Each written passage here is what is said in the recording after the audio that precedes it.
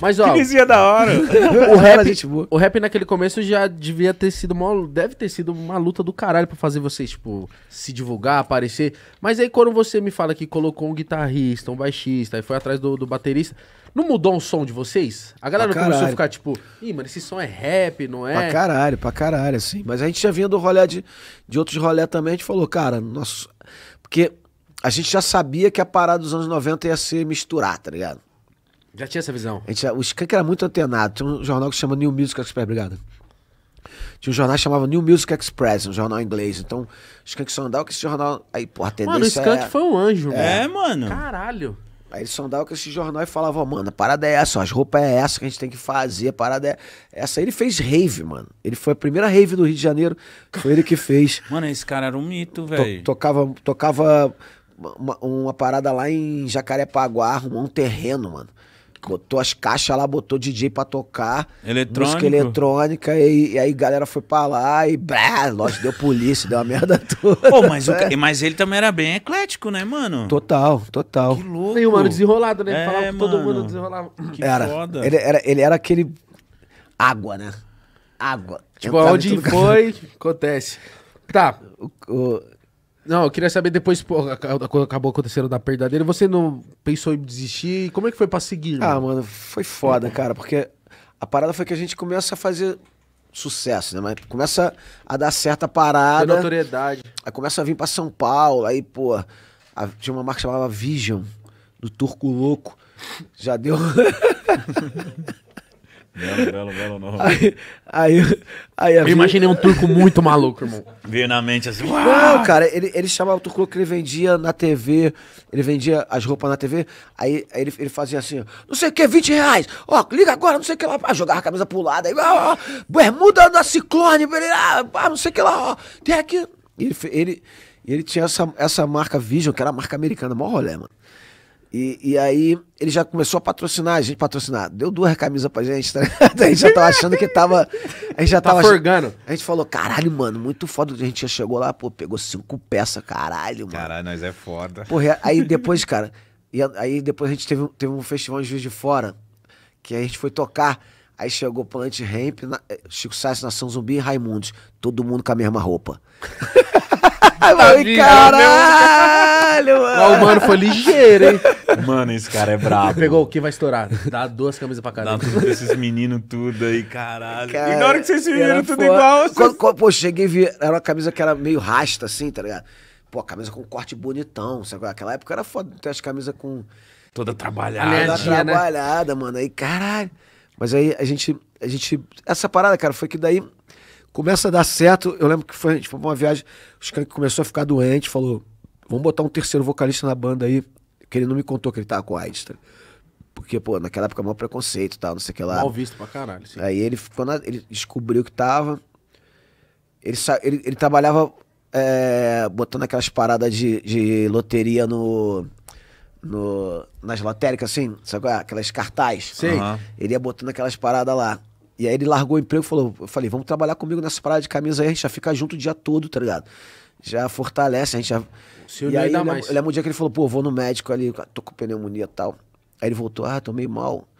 E ele não falou nada, né, cara? Só que a banda foi andando e eu fui tipo, caralho, mano. Empolgando, Vai, né? E, e ele afundando, tá ligado? Caralho. Só que naquela, naquela. Eu, cara, hoje eu não sei se eu tive medo de, de saber que ele tava doente ou se eu realmente, sabe, ah, não percebi e. e- Pela euforia. pela euforia, tá ligado? Eu, eu fui que fui, tá ligado? Aí, e aí ele falou, vamos botar um terceiro vocalista. Eu falei, não, que tá maluco, mano. Porra, Pra só quê? nós dois mesmo, já. A É, gente eu já e você, quebra. mano. A gente já quebra já. Ele falou, não, vamos botar o, o Black Alien. Aí, o- aí o Gustavo já, pô, não, tem a minha parada com o Speed Freaks. Botar o Benegão, pá, não sei o que lá. O Bernardo foi entrando. O Gustavo também, Gustavo Black Alien, eh, tinha um show que a gente foi fazer em Curitiba, foi com o Gustavo, a gente foi pra Belo Horizonte, porque a parada já tava andando, tá ligado? E ao mesmo tempo que aconteceu isso, o Raimundos foi, tocou na rádio, aquela, eu queria ser o banquinho da bicicleta. Aí pra vocês foi tipo uma vitória E também. aí, né? e aí começou a abrir um- uma porta, assim, tá ligado? Tem uma nova geração vindo aí, tá ligado? A geração dos, dos anos 80 já tava aí, já tava grande. Aí tem uma nova rapaziada vindo aí num, num movimento novo, né, cara?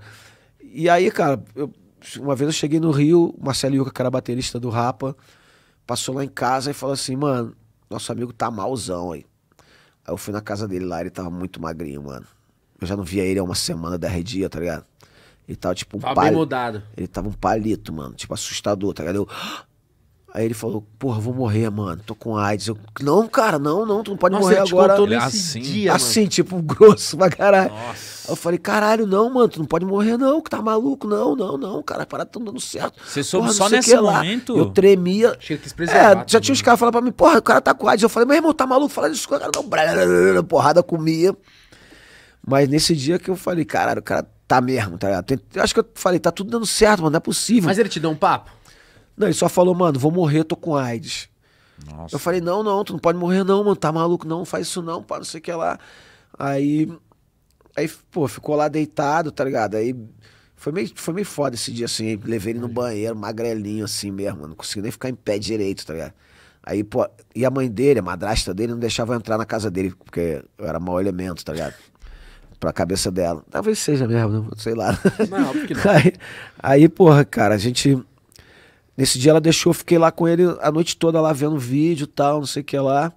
No dia seguinte eu ia participar de uma palestra na UER, já tava tipo dando palestra. Cara, mano. já tava voando, né? as falando coisas. de cannabis na palestra, falando de maconha na, na, na UERJ com gabeira, com a porrada de gente assim. E aí eu, eu lembro que eu fui lá e aí cheguei em casa, minha vizinha Deu notícia. dando, ó, ligaram aí, falaram que Skank tá. Minha mãe veio falar comigo. Minha vizinha não quis falar comigo, falou com minha mãe. Minha mãe veio falar comigo. Eu tava jantando assim, eu vomitei a comida toda assim, fui deitar. Minha mãe falou: Que isso, cara? Eu falei: Não, vou dormir, mãe. Aí ela, pô, não, vai lá, vai lá, cara. Vai lá ver se a família tá precisando de alguma coisa. Tu é teu melhor amigo, vai lá. Aí eu, caralho, eu saí correndo. Parecia cena de filme, mano. Saí correndo na chuva assim. Não acredita, né? Que loucura. Cheguei lá, mano, tava o cara lá, eu, caralho, caralho, mano, puta merda, não tô acreditando. E aí a tua pergunta, você pensou em, em acabar aí, puta, mano, eu falei. Porque, pô, era um sonho compartilhado legal, tá ligado? Não, e ele te chamou pra parada, mano, essa parada dois, né? é uma parada que eu não desejo pra ninguém, tá ligado? Nem pro maior inimigo, tá ligado? Tipo uma. Eu, eu, eu falo que, pô, foi tipo um- uma porrada muito grande, assim, porque tava, tipo, as coisas estavam dando certo, primeira vez na vida, tá ligado? Depois de vinte e tantos anos, Depois né? de 20 e poucos anos, isso agora é a primeira vez na vida que eu tava me sentindo importante, bonito. O que, que te deu força de novo, irmão? Cara, então, aí a madrasta dele me, me chamou, aí foi, chamou eu e a galera da banda e falou, pô, cara, eu, eu, vi, eu vi vocês falando que vocês vão acabar a banda. A gente foi. Já foi jornal, veio per- per- perguntar tal, né? A gente já, já tinha algumas gravadoras querendo gravar a gente, a gente já tava enchendo show, sacou? a gente já tinha feito um show no Circo Voador lotado. Caralho. Isso já tinha sido foda, assim, pelo menos ele fez uns. Porque nosso sonho era tocar no Circo Voador, tá ligado? A gente falou, porra, mano. Ele, isso- ele, ele sentiu a fama, ele sentiu o amor, ele, ele se- sentiu... é, cara, porra, minha mãe falava assim, cara, tá ligado que esse cara é um anjo na tua vida. Ele veio assim, botou a parada no teu colo e falou, porra, agora eu posso ir. Irmão, a gente tá E trocando ideia agora. Eu 30 te anos depois, isso, é. É, lógico que sim. Com certeza. Foda. E aí, cara, putz, aí foi isso, tá ligado? Aí o cara. Mãe dele chamou, falou, a gente falou, cara, vamos gravar um disco então. Depois a gente vê o que a gente faz. E aí fodeu, aí a gente gravou o disco em homenagem a ele, aí falou, ah, não vamos acabar a banda não, vambora, vambora, vambora. O Bernardo foi parceiro pra caralho, tá ligado? porque o Benegão tinha umas três bandas já. E ele falou, cara, eu fico aqui, vamos tocar a banda. Eu falei, "Qual, Bernardo, grava comigo o disco aí, me ajuda Vou cantar. a cantar, cantar as partes do skunk, tá ligado? Aí ele, beleza, claro, pá, não sei o que lá. A gente foi lá, fez. E aí, cara, aquela parada de moleque também, tá ligado? A, a, a vida continua, né, cara? Então a gente era, era meio, sei lá, nem era sonho, né? Porque eu nu- nunca tinha escrito Não, mas eu porra, acho nunca que seria passado. muito pior se você tivesse desistido, mano. É, claro. Teve que. Teve Imagina que velho agora carregando essa porra, falando, pô, não, quando eu era moleque eu tive uma banda, quase estouramos, não sei o que. Não, você é doido, pelo amor de Deus, você ia viver frustrado. É.